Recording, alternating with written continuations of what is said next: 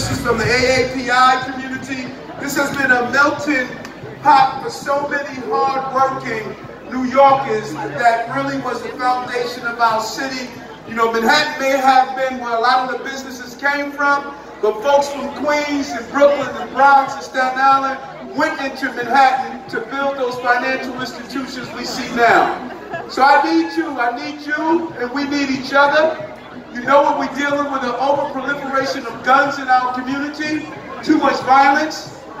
Our goal is not only to deal with the immediate threat, but we have to stop the pathways that are feeding the violence. Because by the time our young people have a gun in their hand, we already failed.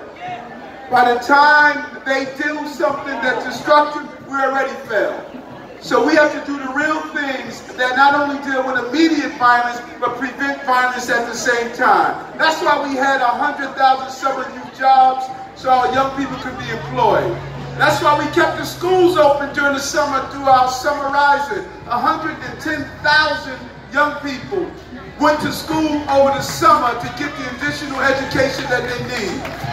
That's why, like me, that's dyslexic, we're doing dyslexia screening for every young person so we don't have 40% of our inmates being dyslexic. Leaning into foster care children, putting the resources in our shelters so we can go into permanent housing. So the goal is to prevent, not just respond. That's what we want to do as your mayor. And so your voice means a lot. Together we can turn it around.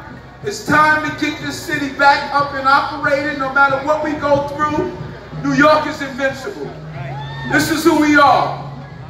We saw that in September 11th.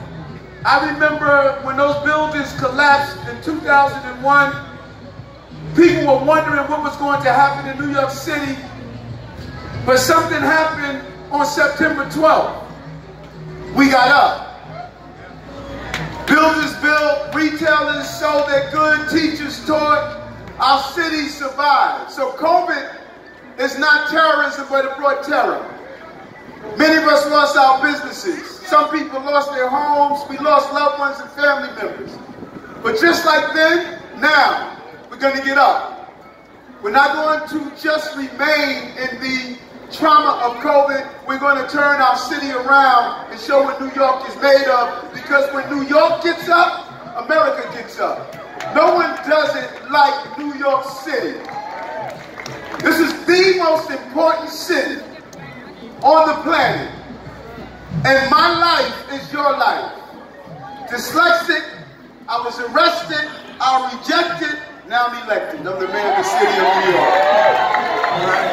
Never surrender, never give up. Let's move our city forward. Love you, Queens. Thank you. Thank you, Mayor Adams.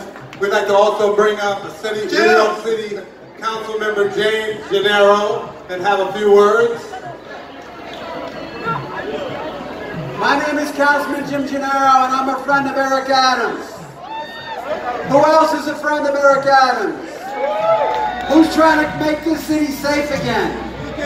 Who's trying to get out ahead of the violence to make sure that kids have a pathway that they can use the full range of their talents along lines of excellence?